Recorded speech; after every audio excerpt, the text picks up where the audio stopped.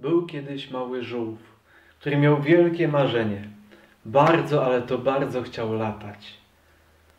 I ten mały żółw poszedł pewnego dnia do mamy i mówi: Mamo, mamo, chcę latać. Ale mama mówi: Co? Latać? Przecież wszyscy wiedzą, że żółwie nie latają. Ale ten mały żółw bardzo chciał latać. Więc następnego dnia znowu przyszedł do mamy i mówi: Mamo, mamo, chcę latać. Co? Przecież wszyscy wiedzą, że żółwie nie latają.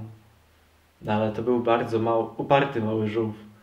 I następnego dnia znowu przychodzi do mamy i mówi: Mamo, mamo, chcę latać. A mama mówi: Idź do taty. No i ten mały żółw poszedł do taty i mówi: Tato, tato, chcę latać. Co?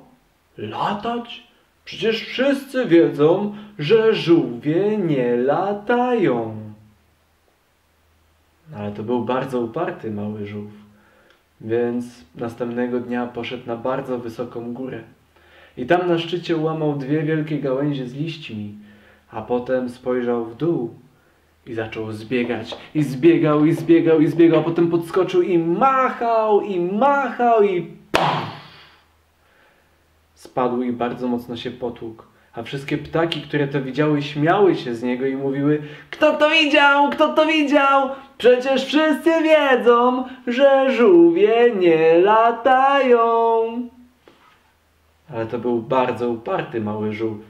Więc kiedy tylko wydobrzał, znowu wspiął się na tę samą wysoką górę i ułamał jeszcze większe gałęzie z jeszcze większymi liśćmi.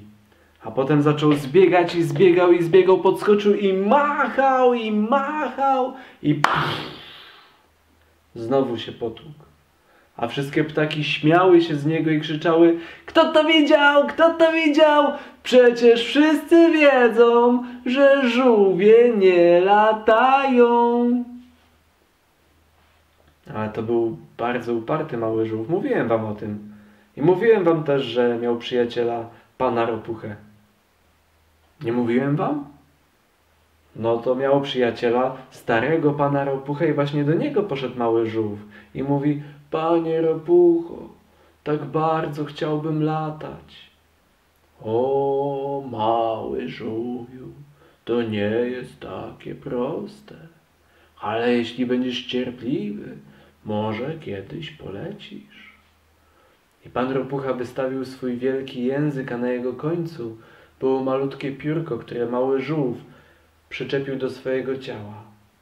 A pan Ropucha mówi: Przychodź do mnie codziennie, mały żółwiu, a być może w końcu ci się uda.